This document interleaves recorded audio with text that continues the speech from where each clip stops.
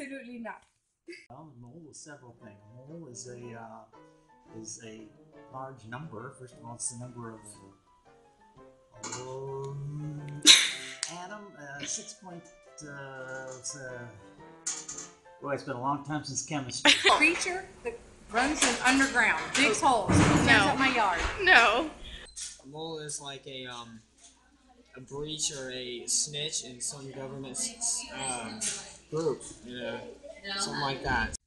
I know a mole as a little animal on the ground and also a unit of measurement for measuring very, very small things. It burrows underground. Like what kind of mole? Like the mole for science. Like the animal? No, for science.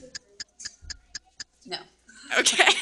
yes, and it's also a um, a traitor who is like you. I have no idea. Yes, it's a furry creature that burrows underground. Okay. A mole is someone who works in a certain institution or agency and decides to leak information to rival organizations or enemy organizations, something like that. So, if someone were to, say, be a mole in the CIA, that means they would have leaked classified information to an enemy country or something like that. A mole is an animal underground and likes darkness. Do you know what a mole is? Do you know what a mole is? Bear. What's a mole?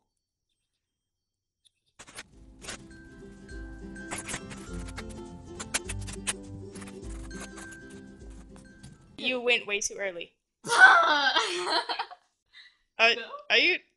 Oh my gosh! Yes. Are you? I didn't even ask you yet. A mole has 6.022. a mole has 6.022. Do you got this? yes. Okay. Go. A mole has 6.022 times 10 to the 23rd atoms in it. Um, has to do with atoms in chemistry. It's 6.02 times 10 to the 23rd.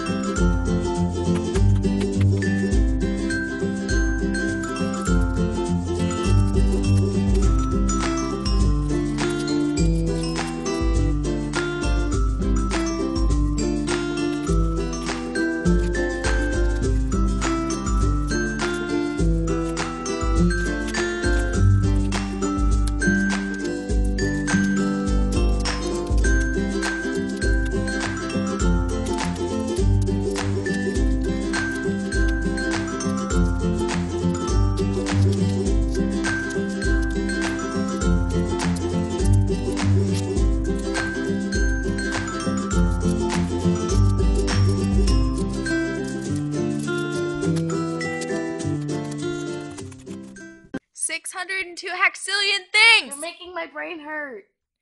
Six hundred and two. So what? That's a lot.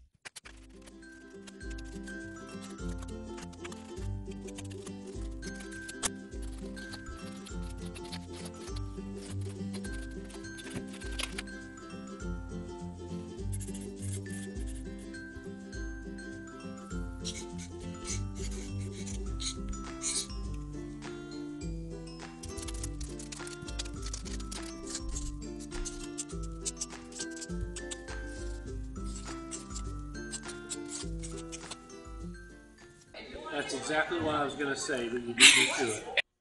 Was six times ten to the twenty-third. Six point zero two two times ten to the twenty third. You're pretty close. That was pretty darn close. You were? Mm-hmm. So that's a lot. That sounds amazing. Okay, that one I didn't learn. That's it. That's it. Okay. Yep. Do you know what a mole is? Anything else? A mole is um. I think you got it. Well, you got the one I was looking for. I was looking for the first one. Yep. Yes, you may.